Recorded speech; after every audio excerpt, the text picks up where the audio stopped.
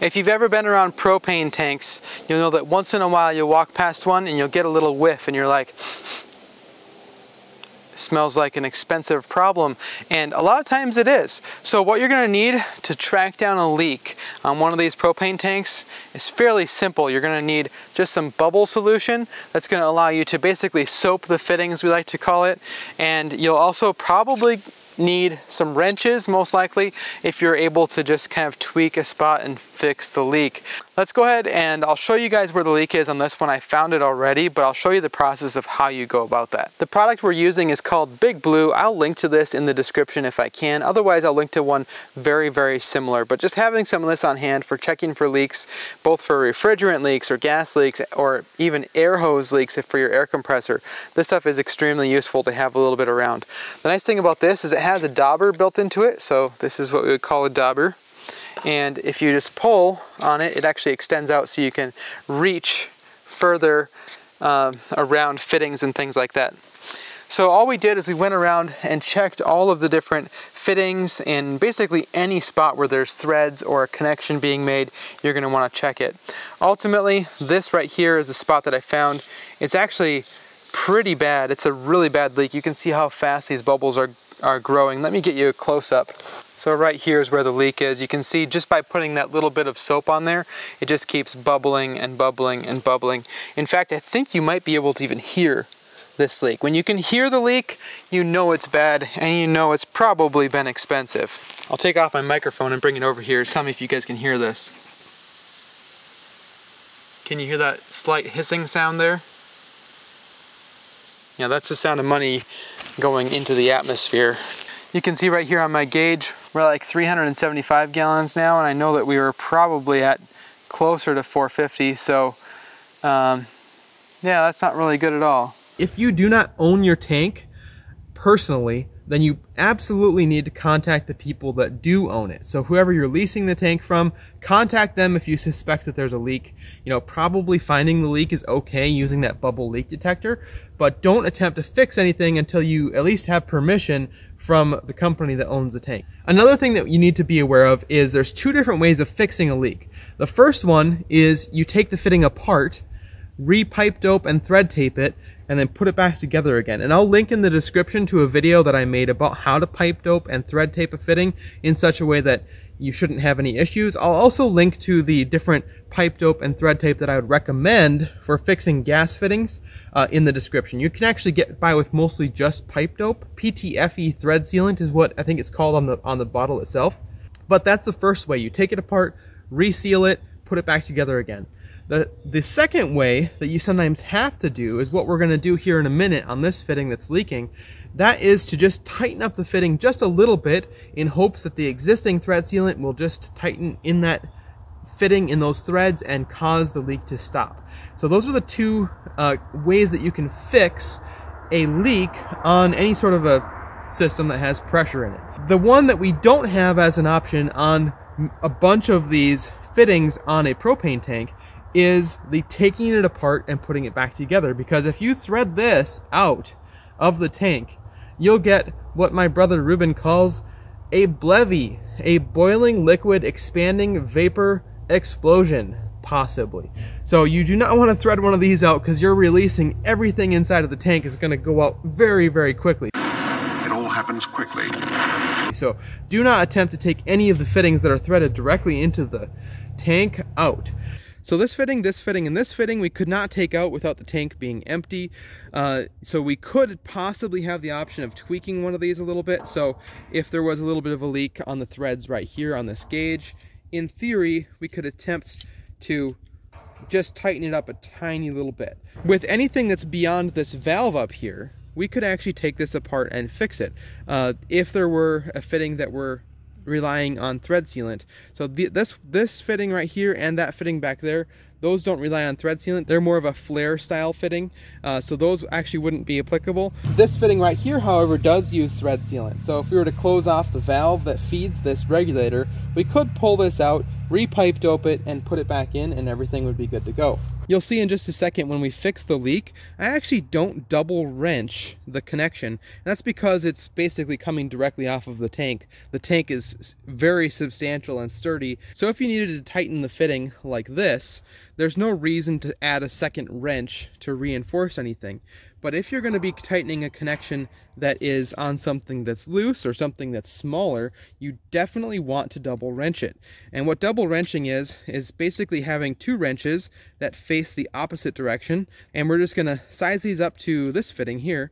And if I wanted to tighten this onto this, you would use two wrenches just like I'm holding them here to be able to hold everything in place while you tighten the fitting. So just keep that in mind if you do have a leak in a spot where you need to double wrench it, definitely do so. I'll link to these wrenches in the description of this video. If you guys are looking for the best of the best, Knipex cannot be beat on the quality of their wrenches. So this is the large adjustable pliers that we have here. I think this is a 12 inch. This is a very substantial wrench. If I had to choose two wrenches and two wrenches only, it would be two of these. However, the close runner-up, uh, this is very versatile as well, but obviously you can only grab onto things that have flat surfaces with this, whereas this one you can grab onto just like a round piece of pipe. But this is the Knipex pliers wrench, and these have really come into significant popularity recently, and really do a fantastic job. It's incredible how the harder you push on the fitting, the more it tightens the jaws at the same time. So you really don't run into the situation where you're rounding over uh, the flat surfaces on the fittings nearly as much. So I'll link to these in the description. Uh, they are absolutely fantastic. So that covers the notes that I wanted to make about the tank itself. Uh, briefly, let's talk about where your gas line comes up into your building. So right over here we have our gas line coming out of the ground and into the regulator. All of this stuff is much more serviceable than the tank itself because we can shut off the gas going to this regulator and if we needed to we could disassemble these fittings and repipe dope them and tighten them back into position. And the same goes for inside the building. Obviously finding a leak inside the building is much more uh, crucial than if you have one outside. Uh, if you ever have a situation where you have a gas appliance that's been disconnected, make sure that there is a plug in that line. You never want to rely on a valve not being turned on to keep your house from exploding. So if you ever disconnect something, immediately get a plug to seal off that line so that it can't be accidentally turned on and uh, cause your house to turn into a bunch of little uh, toothpicks. So right up here is the place where that uh, explosion occurred.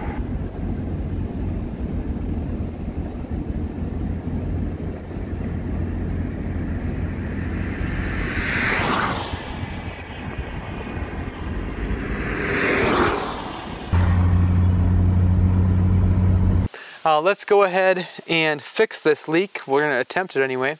I will point out one other spot that's a common spot for it to leak though, and that is on the handle of the valve that actually feeds your building. Right now you can see I've got nothing attached to this tank, so um, you can't see the pipe coming off of here, but I did check all of this for leaks as well. But right here where the valve stem comes through, uh, sometimes it'll leak around here. And what you can do is you can take and tighten just a tiny bit. You can tighten what we call the packing nut. This is the packing nut around here. So sometimes you can just give it a little bit of a uh, nudge and that will uh, tighten up the nut around the stem on the valve for your tank.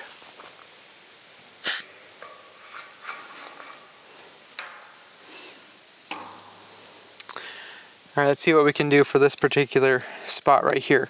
I'm just gonna see if I can give it a little bit of a turn hopefully it'll make the difference.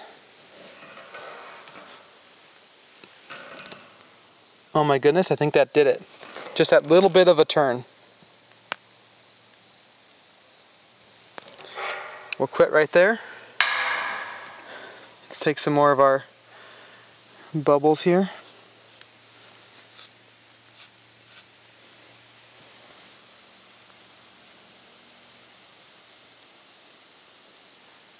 It's still leaking out of this cap here a little bit, but this, uh, this cap right here is able to pretty much seal that off.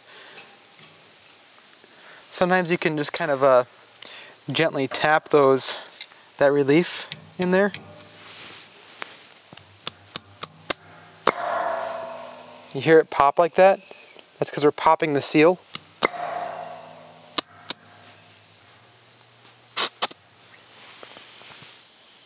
There's definitely a little bit of a leak still over here. You can see how the bubbles are still accumulating a little bit. I'll try to snug that up a little bit more yet.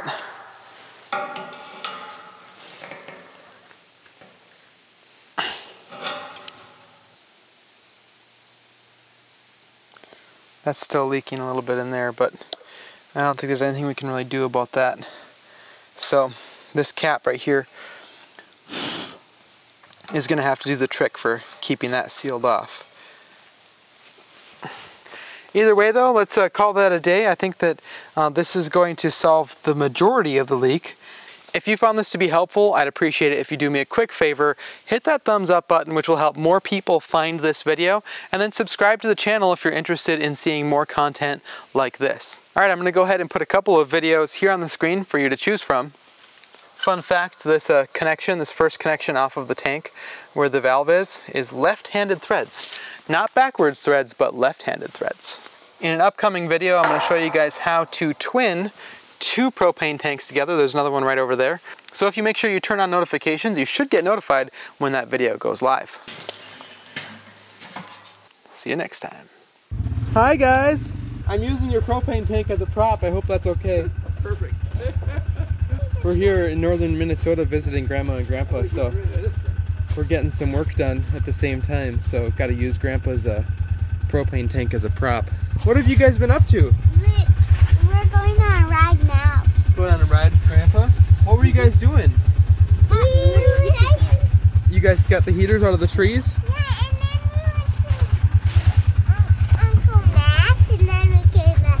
And then Uncle Matt was really funny. He waved Really? in the window, and there's two Christmas trees there. Really? Sure. All right, kids. We're All right. gonna go back for another ride. Have fun. Yeah.